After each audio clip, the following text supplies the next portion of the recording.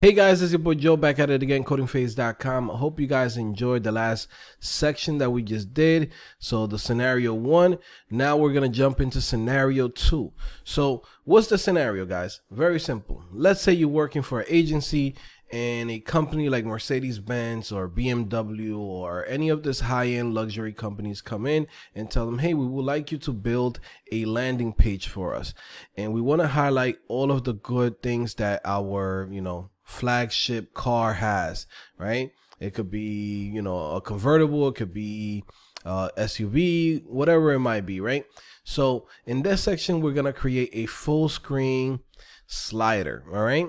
So basically the slider is going to, you know, slide as the user uh, either clicks on, on a button or clicks on the ellipsis or is going to do it automatically uh, after I think like three seconds, right? So this is the preview of how the static website looks like right now. So this is the prototype.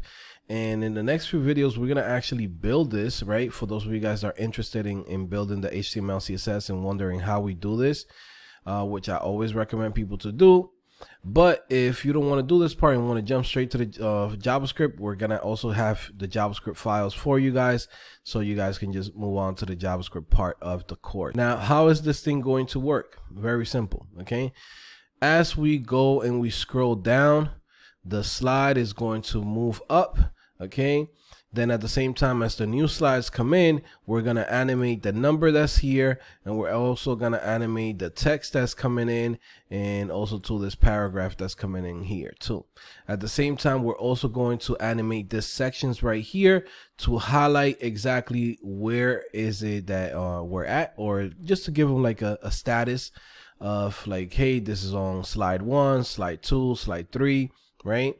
Uh, we're also gonna have in here some ellipses, which is gonna be like this three little dots that lets the user know on which slide they're actually on.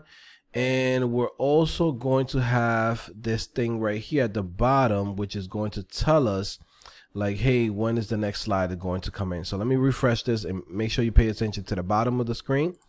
So if you go down, you see how it goes.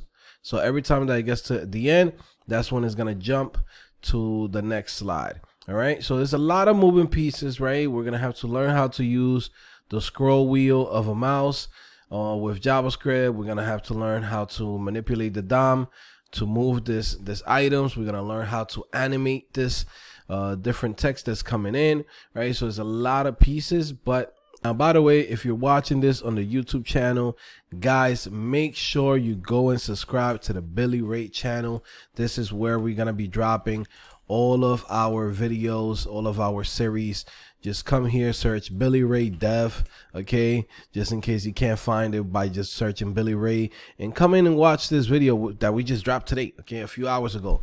OMG, this is what you call a front end web developer portfolio, okay? Go check it out, right? And make sure you subscribe and make sure you hit the notification bell. We got a couple of videos in there already for you guys to watch. And yeah, we're going to continue dropping a whole bunch of content in there. So definitely stay tuned. All right, guys, I'm stop right here. I'll see you guys in the next video. Bye.